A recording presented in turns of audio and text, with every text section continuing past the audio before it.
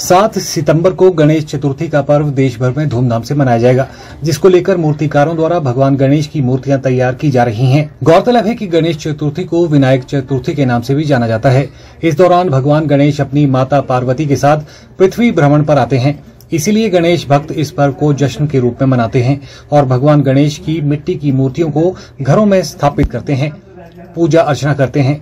वहीं बात करें देवभूमि हिमाचल प्रदेश की तो बिलासपुर जिला में भी गणेश चतुर्थी पर्व की तैयारियाँ जोरों शोरों से चल रही हैं। वहीं इस पर्व को सफल बनाने के लिए एक राजस्थानी परिवार बीते तेरह सालों से भगवान गणेश की मूर्तियाँ बनाकर अपने परिवार का पालन पोषण कर रहा है। बिलासपुर जिला के बघेड़ स्थित मूर्तिकार हीरा राम तेरह वर्ष पूर्व, अपने परिवार के साथ राजस्थान से बिलासपुर आए थे, जहाँ उन्होंने गणेश चतुर्थी पर्व को लेकर भगवान गणेश की मूर्तियाँ बनाना शुरू की। शुरुआती दिनों में मूर्तियों की मांग कम होने के चलते आठ से दस मूर्तियाँ ही बिकी, मगर हीरा राम व उसके परिवार का हौसला नहीं डगमगाया और उन्होंने अपना पेशा नहीं छोड़ा। धीरे धीरे बिलासपुर जिला के लोगों में गणेश चतुर्थी पर्व को लेकर उत्साह बढ़ने लगा और ग्रामीण व शहरी इलाकों में भगवान गणेश की मूर्तियों की मांग बढ़ने लगी और आज हीरा राम गणेश चतुर्थी पर्व के दौरान सौ से अधिक मूर्तियाँ बेचते हैं। यहाँ जी बिलासपुर डिस्ट्रिक्ट में हमारे को कम से कम बारह तेरह साल हो गया। तो स्टार्टिंग से हमने यहाँ से काम शुरुआत किया था और पहले यहाँ इतना डिमांड नहीं था। और ठीक है, आठ दस मूर्ति बिकती थी। लमसम अब धीरे धीरे मैंने भी यहाँ चला रहा कारोबार। धीरे धीरे धीरे धीरे अभी सौ, डेढ़ सौ मूर्ति का सिस्टम बना हुआ है और लोग भी जुड़ रहे हैं ऐसे धीरे धीरे इस बार बीस जुड़े, अगले साल पचास जुड़े, ऐसे धीरे धीरे कस्टमर जुड़ते रह रहे हैं और हम भी रेगुलर बनाते रह रहे हैं। और बाकी हर प्रकार की छोटी मोटी मूर्ति सब बनाते हैं हम। वैसे धार्मिक चीज़ में आइटम में बोले तो छोटी मोटी कोई राधा कृष्ण की है, शिव जी की है लाफिंग बुद्धे हैं शो पीस के आइटम में वैसे कोई गुल, फुलदान है, वैसे हर प्रकार के आइटम छोटी मोटी बनाते रहते हैं सालों साल के लिए। फिर इसी करके हम बारह तेरह साल से यहाँ बनाया हुआ अड्डा और हर साल के लिए अभी गणेश गणेश उत्सव आ रहा ना। गणेश उत्सव के लिए भी हमने छोटी मोटी सब प्रकार की मूर्तियाँ तैयार की है।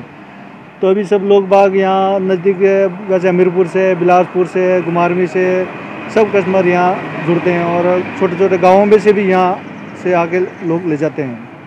तो इसी वजह से हम भी यहाँ बने हुए हैं और लगातार काम कर रहे हैं चालू और भाई साहब भी धीरे धीरे से लोग बाग भी आके ले जा रहे हैं और हमारा भी रोजी रोटी चली हुई है, ठीक चल रहा है काम हमारा। पाँच छः बंदे हमारा पूरी फैमिली के साथ हम तैयार करते हैं, छोटे बच्चे वैसे तो सब फैमिली के साथ हम रहते हैं। और पाँच छः महीने तक हमारे ये पूरा काम दबा के करना पड़ता तब जाके ये सौ डेढ़ सौ मूर्ति तैयार करते हैं। हमारे को ऐसा है कि ये हमारा सोलवा गणेश उत्सव है और हम ये बघेड़ी से मूर्तियाँ बनवाते हैं क्योंकि यहाँ से हम अब शुरू से हमने यहीं से लिए जब से आए उससे पहले हम चंडीगढ़ वगैरह से ले आते थे, जब से आए तब से हम इनसे ही मूर्तियाँ लेते हैं और रेट भी ठीक है, जायज़ है, ऐसा नहीं है कि ज़्यादा महँगी है और ऐसे नहीं छोटी मोटी हर मूर्ति है इनके पास।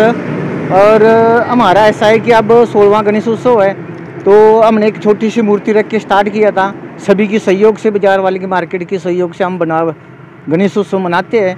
तो उस गणेश उत्सव ऐसा है कि हम सभी को आमंत्रित करते हैं और सभी को स्वागत करते हैं हम और सभी की आशीर्वाद से और गणेश के आशीर्वाद से ही अब यहाँ तक पहुँचे हैं। इतनी बड़ी मूर्ति लेके जा रही है इस साल। ये तो सबसे बड़ा गणेश का आशीर्वाद है। बहुत बढ़िया मूर्तियाँ हैं। ये जैसे ये बनाई हुई है बहुत बढ़िया। जी। तो मैं भी सोच रहा हूँ लेने के लिए। तो पहले चंडीगढ़ से लाते थे अंकल के साथ जाता था मैं। हाँ जी। अब यही मिल जाती है? हाँ जी अब यहीं मिल जाती है। बहुत बढ़िया मूर्तियाँ हैं। कैसी लगी मूर्तियाँ यहाँ पे? बहुत बढ़िया जी। बहुत अच्छे। हाँ जी बहुत कम प्राइस है और अच्छी मूर्तियाँ हैं।